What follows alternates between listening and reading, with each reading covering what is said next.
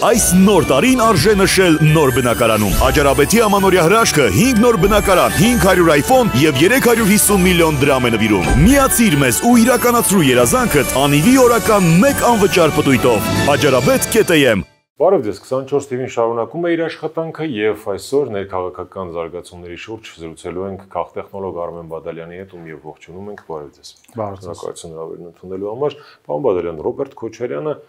խոսեց պատերազմից հետո ձեր կարծիքով ինչ ուղերձներ կային ներքաղաքական կյանքին ուղված եւ ինչ շեշտադրումներ կառանձնացնեիք դուք։ Իհարկե, բազմաթիվ այնտեղ ուղերձների վրա կարելի է ուշադրություն դարձնել, սակայն կային որոշակի շեշտադրումներ, մասնավորապես առաջինը առայն, որ եթե ինքը լիներ երկրի ղեկավար, Ադրբեջանը պատերազմ չէր սկսի,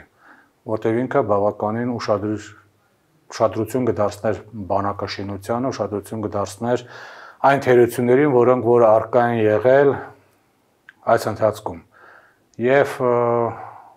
դրանով նա ցույց էր տալիս, երբ որ այնտեղ նա խոսեց Իլհամ Ալիևի հոր մասին, երբ որ Իլհամ Ալիևը շատ ուրախաց էր հայելներ ականջը քաշել, աստորեն ասոցացվում էր, որ ինքը հավասարազոր է Հեյդար Ալիևի քաղաքական կշռին, որը շատ ավելի բարձր կան Իլհամ Ալիևինը։ Չնայած Իլհամ Ալիևը կարողացավ ազատագրել ըստ իրենց այդ հողերը, բայց անամենայնիվ նա ցույց տվեց, որ կնկշիռը շատ ավելի բարձր է, քան գործող նախագահային Ադրբեջանի եւ դա ցույց է տալիս այսպես կարմիր գծի նման անցնում էր Հայաստանի վարչապետի հետ որպես հակադրվելու հակադիր կերպար ձևավորելու գործընթացը սա իդեպ նոր չէ դա արդեն տեսանելի է որ ամառվանից սկսած երբ որ երկրորդ նախագահան սկսել էր հարցազրույցներ տալ նա այդ կերպարը որ ինքը ընդգծվորեն հարությունաշճանով տարբերվում է գործող վարչապետից, իհարկե շատերը կարող ասել իրար հետ միամատեք եւ այլն, բայց եթե դուք օբյեկտիվորեն նայում եք, դուք կողքից պետք է տնեք ուրեմն համատություն արեք որպես օբյեկտիվ դիտորդ երկու կերպարներին եւ ինքը երկրորդ նախագահան հենց այդ կերպարն է ձևում, որ ինքը հարությունաշճանով տարբերվում է գործող վարչապետից, որի ժամանակ պատերազմ չէ լինելու 5000 զոր չեր ունենա, չեր ունենա հայկական կողմեր տարածներ չէ զիջուի։ Եվ այլ ուղղություններ կարելի է գտնել, բայց հիմնականում կարող ենք դա նշել։ Իհարկե ցույց տվեց նաև ուղերձները, որ պատերազմավոր ի վերջո մեղավոր է գործող վարչապետը, որովհետև այդ ամառվա Տաուշյան այդ իրադարձությունները, որը նշվեց, որ հայկական կողմի պատճառով է եղել, երբ որ ինչ որ հա գործողություններ են արել, որ Հայաստանի վարչապետը ամեն ինչ անում պատերազմ գնալու Ադրբեջանին, հա, ռեալիա չթողեց եւ ստիպեց, որպեսզի նա ռազմական գործողություններ իրականացնի, այն դեպքում, որ հայկական բանակը դրան պատրաստ չէր։ Հաջորդ առավոտյան Փաշինյանը խոսեց։ Ռոբերտ Քոչարյանի անունը չհնչեց։ Դա յուրօրինակ պատասխան էր Քոչարյանին։ Այո։ Պատասխան էր, բայց էլի տեքստերի կառուցվածքը այլ ուրեմն երկուսի մոտ էլ տեքստերը տարբեր ձև են կառուցված, որտեղ վարչապետի մոտ ավելի շատ արդարացման, հա, դա արդարացման ուրեմն պաշտպանվան եւ արդարացման էություն կար ինքուրի ձև չէր կարող անել, որտեվ երկրորդ նախագահան իր խոսքը այնպես էր կառուցել, որ գործող վարչապետը ուզեր չուզեր պետք է ուրեմն արդարանար։ Այսինքն, եթե երկրորդ նախագահի մոտ ավելի շուտ կար տեքստերը Փակուղի մցրեց Քոչարյանը Փաշինյանին։ Ոչ թե փակուղը ստիպեց որ արդարանալ։ Սա է խնդիրը։ Եվ եթե երկրորդ նախագահի մոտ արդեն կար խոսքային բովանդակություն, հա, էությունը կարծված էր այնպես, որ իր ժամանակ այս կապիտուլյացիան տեղի չեր ունենա, իր ժամանակ տեղի չուներ այս այն ամեն ինչ տեղի ունեցավ, որտեղ ինքը բարձր է, եւ հաջորդ օրը արդեն գործող վարչապետը ինքը արդարանում էր ինչ որ տեղ ունեցավ, պաստորին պատասխանելով ոնց որ արդարանում էր իր արժեվ նստած մեղադրանքներ, այսինքն այստեղ արդեն մեղադրող ու արդարացվողի դերերն են։ Եկեք արձանագրենք նաեւ, որ շատ զուսպեր Փաշինյանը Քոչարյանի անուղակի, հա, հասցեին խոսելիս ռուսական գործոնի մասին արտահայտվելիս ինչ չէին ասի օրինակ ամիսներ առաջ որտեվ ամիսներ առաջ Հայաստանը կապիտուլյացիա չէր ենթարկվել։ Իսկ հիմա սրա հետ պայմանավորել թե նո թիվ 1-ը որոշումը իհարկե սա էր, թիվ 2-ն էր, որ Հայաստանը փաստացիով որ վերածվել է Ռուսաստանի հա դե ֆակտո վաճառատարածքային միավորի, այսպես պայմանական ասած Կալինինգրադի մարզի, բնականաբար դա նույնպես իր ազդեցությունը ունի, բայց հիմնականում կապիտուլյացիան ազդեցություն ունեցավ այս գործընթացի վրա եւ այդ էր պատճառը, որ նրանք արդեն տարբեր տեքստեր էին կառուցում իրենց միտքը արտահայտելու համար։ Տեքստերի էությունները տարբեր էր։ Մեկը մեղադրող էր, մյուսը արդեն պաշտպանվող էր եւ արտարանում էր։ Երբ որ իրականում, երբ որ նա մեկ դատական գործընթացով հակառակն է, հա, մեկը մեղադրվում է, մյուսը ոնց որ դրան մեղադրում է, բայց քաղաքական համակարգում փոխու քաղաքական այս իրականության մեջ փոխվեց դերերը։ Հետո շաբաթ օրը տեղի ունեցավ հանրահավաք ուրբաթ երեկոյան խոսեց Քոչարյանը, շաբաթ առավոտյան Փաշինյանը, երեքը եղավ հանրահավաք, ընդդիմության մի հատված վերջնագիր ներկայացրեց, ելույթներ, շուղերձներ եւ այլն եւ այլն։ Միասնական տեխնացուն Կարճ Վազգեն Մանուկյանը հանդես եկավ։ Սարպես կազմակերպչականից մինչև թիրախային ուղերձներ ձեր գնահատականը ինչպիսին է։ Նախ կազմակերպչական տեսակետից կատարվում են նույն անսխալ ինչ որ վերջին 30 տարվա ընթացքում բոլոր անդիմադիր ուժերը, երբ որ հայտարարում ես, որ հանրավակը սկսելու այսին ժամին, բարի եղի, այդ ինչ ամից սկսի։ Սա չի վերաբերում հայկական ֆենոմեն է։ Չէ, չի կարելի ասել հայկական ֆենոմեն է, հասկանում ես հայկանում, որովհետև եթե մի գործը անում ես, ուրեմն պետք է նորմալ անես եւ ոչ թե հայկական ֆենոմենով։ Եթե դու այսօր հանրավակը ասում ես ժամը 3-ին բաց սկսում ես բավական ուշացած եւ աղնալ դու կարող ես քաղաքացիական անհանձանդություն ասես, որ պետք է սկսեմ, հա, դեկտեմբեր 8-ին ժամ 12-ին, եթե հրաժարական շտաբարչապետը, բայց հայկական ֆենոմենով սկսես, չգիտեմ, հունվարի 25-ին։ Չի կարելի կոնկրետ, երբ որ գործ ես որոշում անել, կոնկրետ ժամանակին պետք է իրականացնես, որտեղ ցանկացած աշխատանք պետք է լինի, սա մեկ։ Պունկտուալ ժամը, սա մեկ։ Երկրորդ երկրորդ նույն սխալը, որը վերջի 30 տարվա ընթացքում բանդիմադի հանրավակների ժամանակ անդիմադի բոլոր գործիչները կամ շատ-շատերը թույլ են տալիս նույնպես կատարվեց սա կազմակերպչական սխալը, որն էլ երբ որ ելույթ ունեցողները սկսում են իրանց թվում է որ դա ակադեմիական ինչ որ շրջանակներում է եւ կարող են գիտական ելույթ ունենալ բավականին երկար։ Հիշեք, հանրավակը ինքը որպես տեխնոլոգիա մարդկանց հավաքելու, նրանց էներգետիկա հաղորդելու միջոցառում է։ Դուք նրանք պետք է էներգետիկա հաղորդես, որպես այդ էներգետիկան ալիքաձև տարածվի հանրավակի չեկած նաեւ մարդկանց, ինչպես նա դիտողներին եւ դա դրթի ինչ որ գործողություն իրականացնելու այս կամ այն ուրեմն գործողություն իրականացնելու, որը հանրավակի կազմակերպիչներին շահերից է բխում։ Եվ դրա համար հանրավակը ինքը պետք է որոշակի իր կանոններ ունի, որին որոնց դու պետք է հետևես։ Մասնավորապես չի կարելի հանրավակի ժամանակ հա հիմնական ելույթ ունեցողը դնում եք մի կողմ, մյուս ելույթ ունեցողներին չի կարելի ժամերով խոսել Հասկանում եք, երբ որ առնվազն հայրենիք եւ բարգավաճ կուսակցության ղեկավարի մեկի խոստեն փոխանցում, մյուսին կա ելույթ ունենում երկարատև բավականին շատ երկար ժամանակով ելույթ է ունենում, արդեն հանրավակի մասնակիցների մոտ դա առաջացնում է ոչ թե էներգետիկա փոխանցում, այլ հակա էներգետիկա ձանձրույթ, որ անմիջապես խափանում է այն խնդիրը, որը հանրավակի կազմակերպիչները իրենց առջև դրված են։ Սրանք մանրուքներ չեն, սրանց պետք է ուշադրություն դարձնել ցանկացած տեխնոլոգիա դու պետք է շատ ճիշտ կատարես, որովհետև հակառակ դեպքում տեխնոլոգիան սկսում է քոդեմ աշխատել կամ արդյունք չի տալու կամ վատ է կազմակերպված, բովանդակային։ Վատ է կազմակերպված մի լավ էր երկուսի ելույթը, հարավակ վարողի ելույթը հա Գերմանուկյանի ելույթը հաջող էր, որտեղ ինքը անդադ գորգորալով էներգետիկա էր հաղորդում եւ երկրորդ լավ էր կազմակերպած անդիմության ներսնական տեխնացուի ելույթը, որը դուսակա Վազգեմակյան, որը շատ կարճ կազմակերպչական մասում, ասում ոչ թե բովանդակում, շատ կարճ հստակ ասեց, ինչ պետք է կատարվի։ Ելույթ, որ դու անմիջապես լսեցիր, ընկալեցիր, տեղ հասավ, եւ ոչ թե ասենք մյուսների նման, երբ որ միջև ավարտես, դու մոռացա թե սկզբից ինչ էր խոսում։ Բովանդակային մասին գանք։ Հիմա կասեք ձեր կարծիքը, ես իլերում եմ ուղակի այս թեմայի շուրջ ձեր խոսքի, ասեմ հետեւյալը ավճիտ հարց բարձրացնեմ։ Օրինակ տպավորություն ստացաք, որ ընդհանրապես կռիվը ձեր կարծիքով ինչում է կամ ո՞րն է կրվախնձորը, թե ով պետք է արտահերտ ընտրություններ կազմակերպի, Փաշինյանը թե Մանուկյանը։ Հագիտեք, ինչ երբ որ հանրավակ է կազմակերպում, էլ են ձեր հարցը դրան է վերաբերում։ Եվ ընդհանրապես միջոցառում է իրականացնում։ Պետք է իմանաս, որ սա առանձին միջոցառում չէ։ Դա քաղաքական մեկ ընդհանուր գծի դետալներից մեկն է եւ յուրաքանչյուր այդ դետալում դու այնպես պետք է կառուցես ելույթները, որպեսզի նման հարցեր, ինչպես ձեր մոտ առաջացավ, չառաջանա։ Եթե ձեր մոտ հարցեր է առաջացել, ուրեմն հանրավակը այդքան էլ լավ չի կազմակերպված եղել, որովհետև հանրավակից հետո այդ հարցերը չպետք է առաջանար թե ով է պետք է անցկացնի ընտրությունը եւ այլն։ Հստակ դուք պետք է տեսնեիք հարահավաքի, այսպես ասած, զարգացման վեկտորը եւ բոլոր ելույթ ունեցողները այդ վեկտորի ուղղությամբ դուք պետք է տեսնեք եւ այնտեղ հասկանաք թե ինչու համար էր հանրավակը կազմակերպված եւ ինչ նպատակներ է ունենում։ Հանրավակի բոլոր մասնակիցների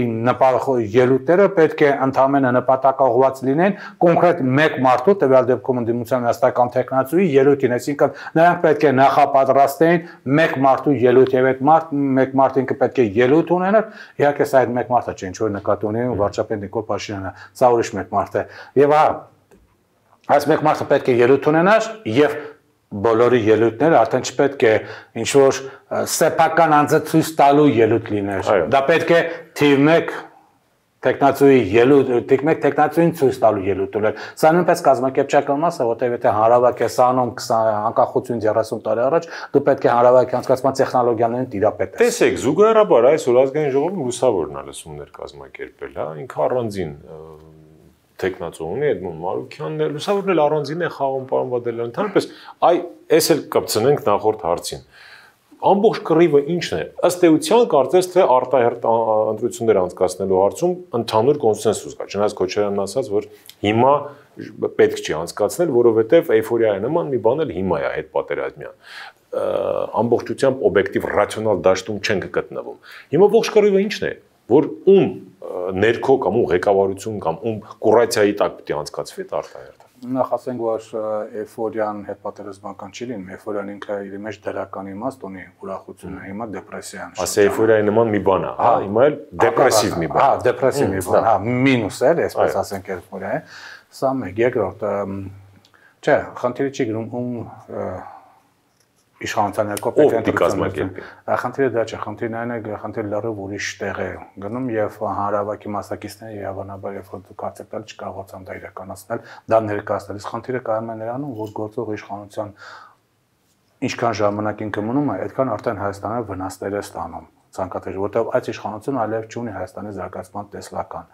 նախ սկզբից էր երբեք էլ չի ունեցել, բայց հիմա դա արդեն Հայաստանի դեմ է աշխատում։ Եթե մեջը պատերազմը տեսլական չունեցալը գոնե կոպիտ ասած յոլա էր տանում, շորտական էզով ասած, հիմա Հայաստանի դեմ է աշխատում, ինչու որովհետև ադրբեջանցիները արդեն սոտքի հանքի մասն են վերցնում։ Ադրբեջանցիները Սյունիքում արդեն սահմանամերձ գյուղերից տարածքներ են խլում, այսինքն իշխանությունը ինչքան մնում է, դրանք տուժում է Հայաստանի տարածքը, ֆիզիկական տարածքը սկսում է տուժել աշխարհագրական տարածքը, սա մեկ, երկրորդ Եվ ամենակարևորը դուք չեք տեսնում Հայաստանի իշխանությունների վերաբերմունքը այդ հարաբերություն, այդ հարցերին, որտեղ սահմանային հարցեր են լուծում, բայց տարածքային կառավարման նախարար չկա, տարածքային կառավարման նախարարություն չկա, չէ՞ որ նա այդ զբաղվում է համայնքներով, սահմանազատման հարցերով եւ այլն։ Դուք տեսել եք ինչ որ ելույթներ ունենան, ինչ որ հա հանձնաժողով ստեղծվի, որ միջպետական սահմանային, ի վերջո միջպետական սահմանային հարց է լուծում, բայց իշխանությունների վերաբերմունքը ո՞րն է այդ հարցերի վերաբերյալ, թե գյուղապետը պետք է գնա դե սահմաններ գծի։ Բայց խնդիրը կայանում է նրանում, որ ասացինք այսօր նախ նաեւ նշենք, որ այսօր այսօրվա իշխանությունների կողմից չի հաջողել նաև ներդրումներ բերելու քաղաքականությունը, որովհետև մենք տեսանք Ռուսաստանի դաշտության, հա,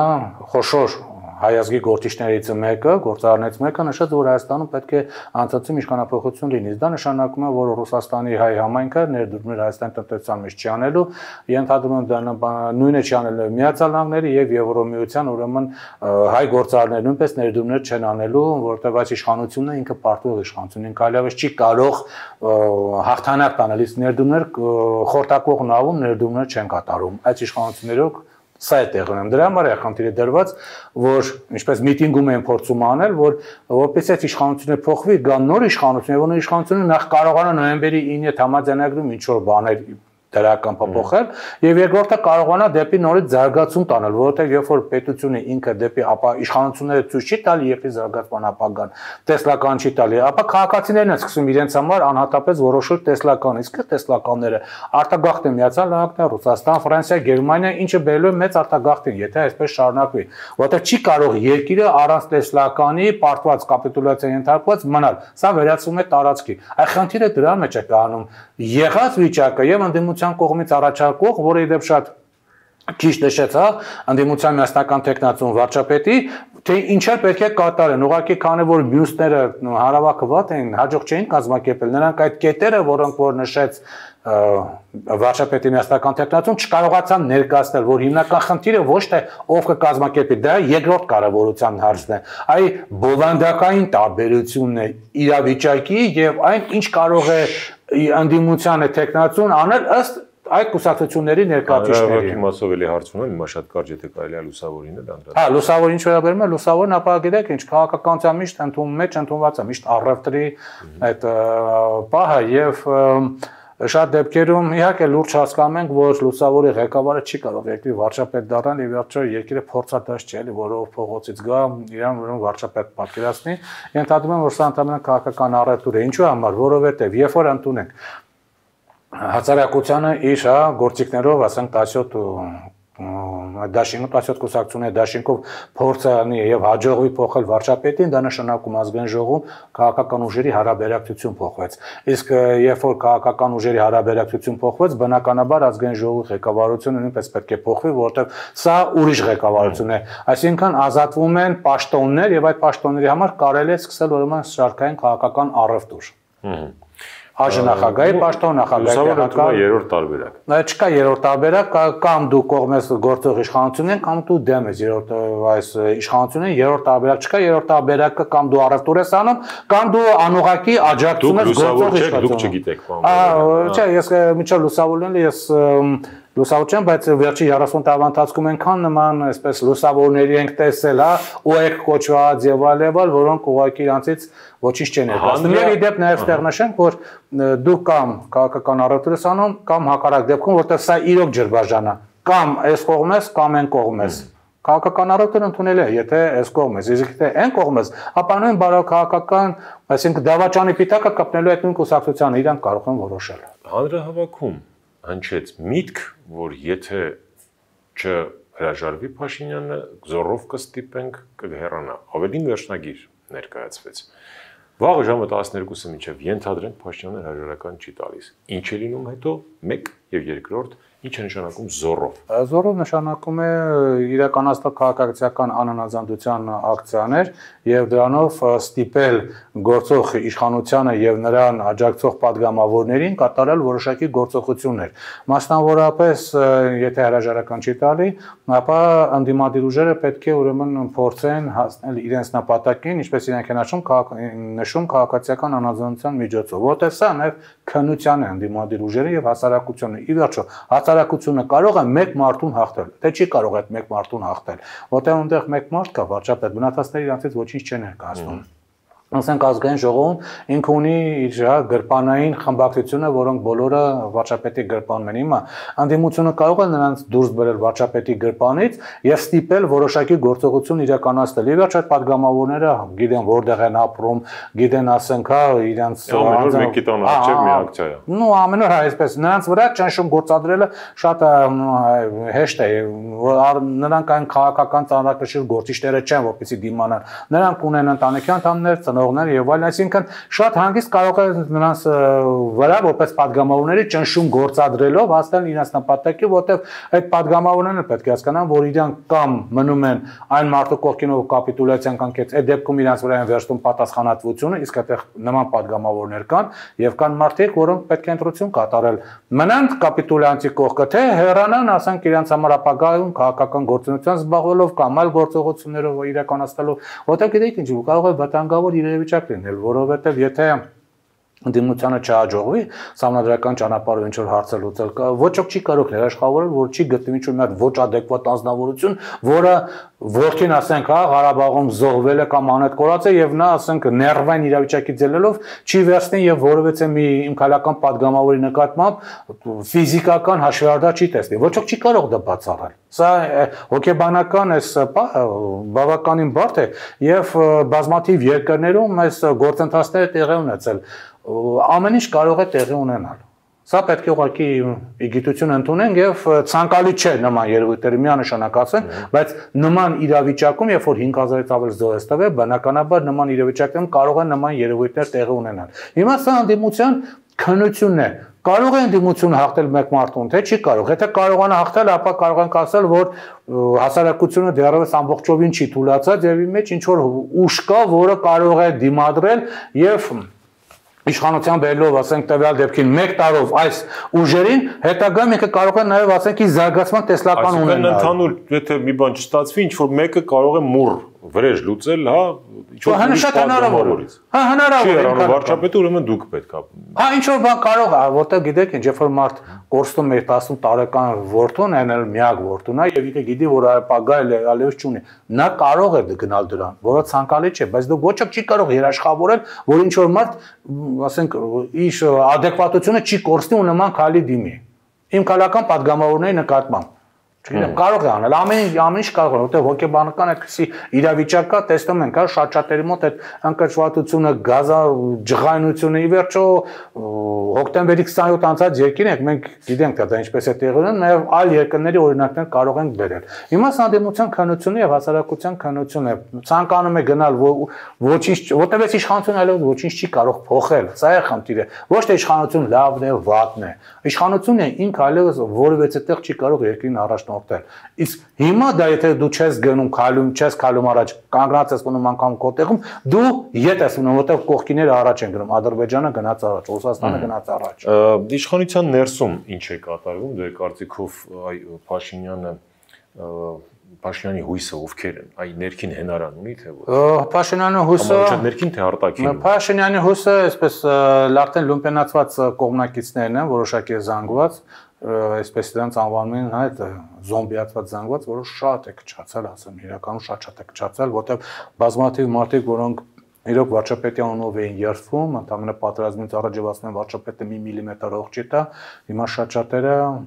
իրանք են ասում այդ մյուսներին, ովքեր պաշտպանում են այսօր վարչապետին, ասում են նրանք զոմբիացված են, այսինքն նրանց մոտ մի սթրեսային իրավիճակից դուրս գալու գործընթաց տեղ ունեցավ։ Դուրս եկան, բայց սթրեսային իրավիճակով։ Շատերը ժամանակի ընթացքում քայլ-արկալ դուրս եկան, իրանց վրա դա չազդեց, բայց մարդկանց մոտ կա որ ուղղակի չէ սպասում որ այդպես կլինի եւ եկան նվազում է։ Հա, միանշանակ նվազում է, միանշանակ։ Իշխանական հնարանը այ վարչապետի անձամբ իշխանական չէ վարչապետի վարչապետի ընտրազանգված այսպես ասենք բավական նվազել է երկրորդ ուժային կառույցներն են վարչապետի հենարանները բայց ոստիկանությունը ԱԱՑ-ն բայց դուք էլ չեք կարող ասալ թե նրանք իրancs ինչպես կպային որովհետև Սադամ Հուսեյնը էլ հա բավականին լավ պահում այսպես իշխանությունը ուժայինին իր հսկողության տակերպան բայց ուժայինները շատ հանգիստ նրան դավաճանեցին մեկ վայրկյան անգամ չանցավ երբ որ նրան ուղղակի դավաճանեցին այնպես որ վարչապետի այսօրվա հենարանը ինչ որ չափով վարչական ռեսուրսն է, շատ քիչ վարչական ռեսուրս, շատ քիչ։ Երկրորդը ուժայիններն են, ոստիկանությունը ԱԱՑ քնչական հատո հատկապես ՀԿՑ-ն, եւ ինչ որ չափով որոշակիորեն ընտրազանգված, որը շատ-շատ քչացել է եւ այսօր շատ դեպքերում դուք անգամ են ովքեր պաշտպանում են վարչապետին, յան կամա չեն վարչապետի հետ ինչ որ դուրս գալ, բաց են լումպերից, որոնց կարելի է փոխտալ եւ դուրս գալ եւ որոշ օլիգարխներ, որոնք մի կողմ են քաշվում։ Տեր Պետրոսյանը հայտնի է իր հազվադեպ այսպես արձագանքով ներքաղաքական կյանքի այս կամ այն իրադարձությանը, բայց նույնիսկ նա վերջին շրջանում խոսում է ի տարբերություն հանրապետության երրորդ նախագահի։ Ինչով է բացատրում Սերժ Սարգսյանի լարությունը։ Բացառապես անձնական, այսպես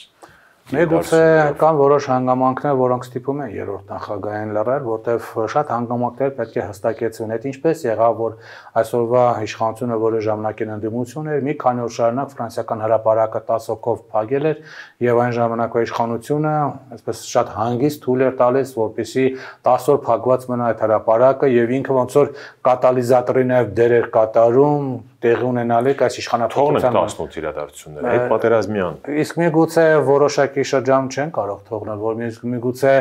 այս հետ պատերազմյան գործընթացների հիմքերը դրված են այնտեղ դրա համար երրորդ նախագահան չի խոսում որտեղ խոսալ դեպքում շատ բաներ իր արժեվ կդրվեն թե ինչպես է նա նաև շատ քրիտիկական պահերին այսպես է իր գործ անողակի գործողությամբ աջակցում գործող վարչապետին բայց դա անդրկուլիսյան գործ այսպես գործընթացները, որոնք նրա թիմի անդամները անողոք քննադատում են։ Այո, թիմի 2-3 հոգի անողոք քննադատում են, բայց շատ բաներ կա, որ վարչապետը պետք է երրորդ նախագահան պետք է խոսա, բայց նա այդպես էլ լրում է դրա մասին հետագայում իշխանապողությունից հետո կպարզվի շատ-շատ հանգամանքներ, թե ինչ էր տեղի ունեցան։ Հիմա ինչ վերաբերում է առաջին նախագահին, բնականաբար ինքը տեսակետ ունի, որը երբեք չի փոխել վերջին այս 30 տարվա ընթացքում, ըստ այդմ պետք է հարևանների հետ նորմալ հարաբերություն ունենալ, Ղարաբաղի հարցը թողելով հետո, Հայդատի հարցը թողելով հետո, ուղղակի մի տարբերություն կա Հայաստանը եւ Անդրկովկասը դա Եվրոպան չէ, եւ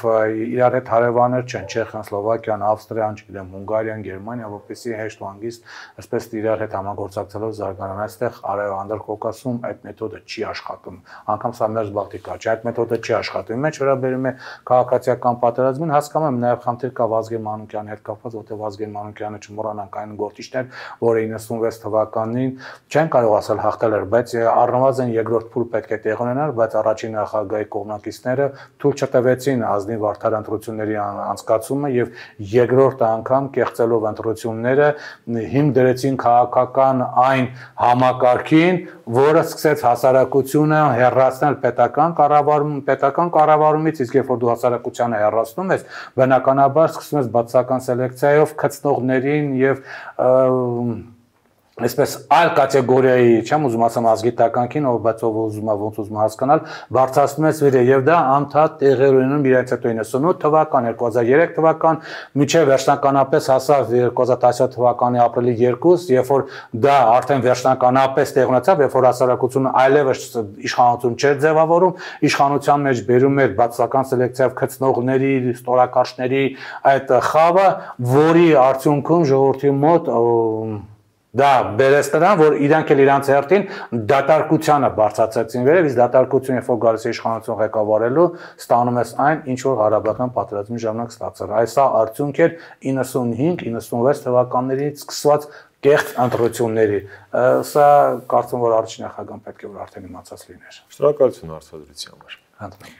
Քաղաքտեխնոլոգ Արմեն Բադալյանն էր 24-ի հյուրն այսօր։ Շնորհակալ ենք նաև ձեզ ուշադրության համար։